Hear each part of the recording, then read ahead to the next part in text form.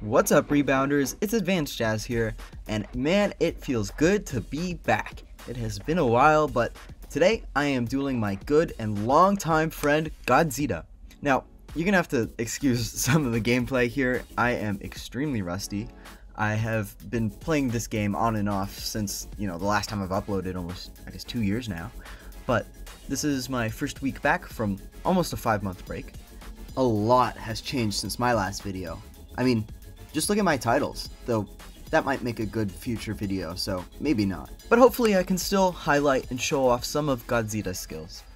So, let me give you some background on my man here. He is very much a high ping player, you know, based in Japan. he, It's like a 12 hour time difference. He's literally on the opposite side of the world from where the servers are hosted.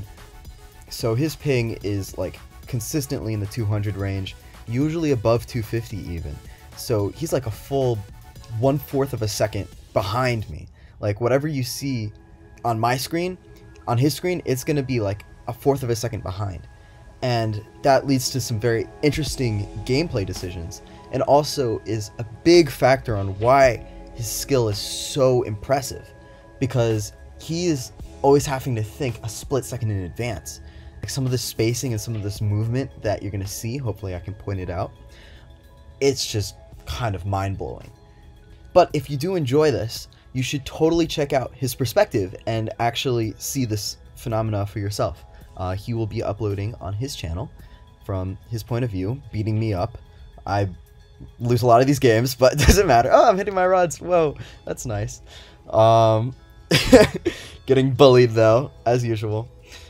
Um, but yeah, so he started on the Switch and eventually made his way to duels about two to three years ago. So right around after COVID was ending, the community was somewhat in a decline. He started playing PvP. Uh, he learned by actually watching uh, Jack o' Lantern videos, which is really funny. Um, I love Jack, but it it really makes sense because if you look at his rodding style, he rods a lot like how Jack o' Lantern rodded two to three years ago. if any of you remember that era. Um, I really like to think like Mutton 38. I still think kind of plays like that, where it's very much kind of like a spammy, um, more of a spray and pray type approach. But it makes a lot of sense because you know when you're high ping, rodding sucks because you know anyone can tell you rods will be super inconsistent. You like my my whole thing is very much into being accurate.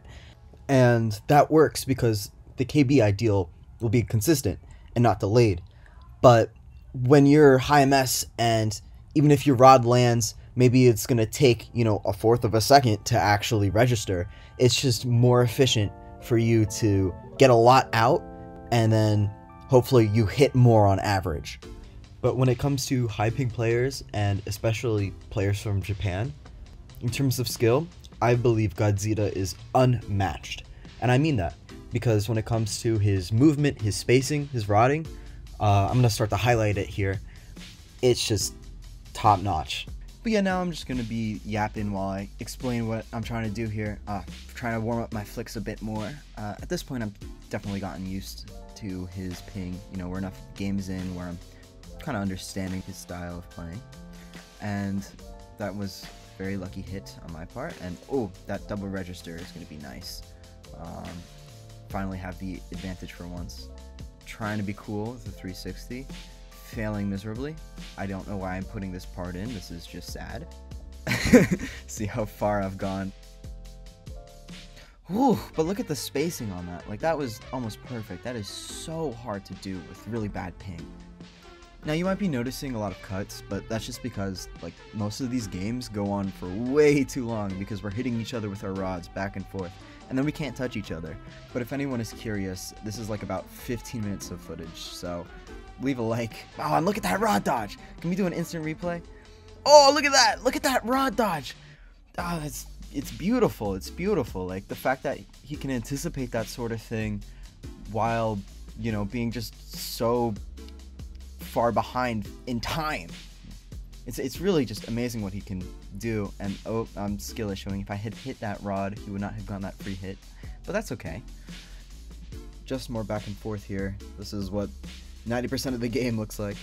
Oh, and that hit, that was a fairly good hit on my screen. And that's kind of like a double-edged sword where when you're high ping, once a, you get like a combo going against a high ping player, it can go really far. And yeah, that was another double register, dealing just massive chunks. Up, trying to be cool, just failing miserably as I do. This is sad. I don't know why I'm putting this in the video. But yeah, okay, I won a game, so I'm on the board.